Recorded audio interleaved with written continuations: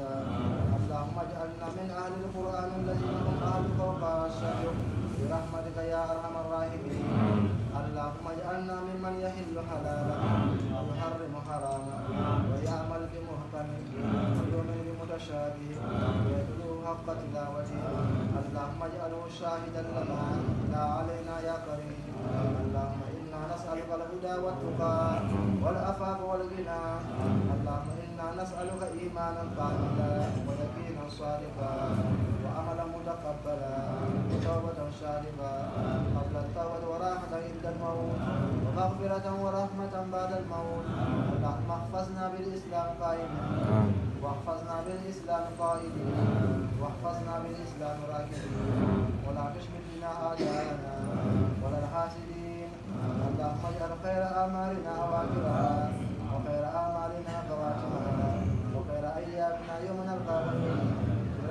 يا أرحم الراحمين. ويا رب العالمين. اللهم ارحم عن اموات المسلمين والمسلمات. وارحم عن الحسن والحسين. وعن امهما فاطمة الزهراء. وعن جميع آل النبي محمد صلى الله